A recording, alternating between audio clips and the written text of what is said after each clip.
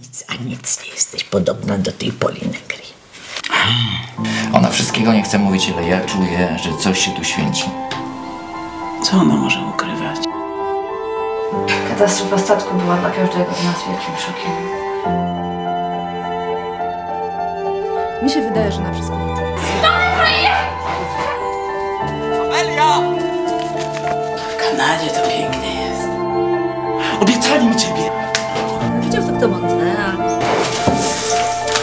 Dziecko trzeba było wysłać, żeby zatkać gęby tym, co pod siebie najwięcej starali. Przypomniała sobie o domu, a gdzieś ty była tyle lat, co? Jak ty musisz mnie nienawidzić? Twoja siostra lepiej się udała. ale ciebie nie chciała. Ludzie pieczarkową że to zabija matkę? Prawda jest?